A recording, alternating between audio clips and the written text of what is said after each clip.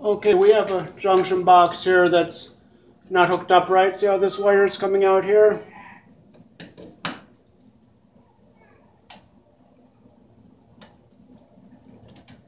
They used the wrong color wire nuts.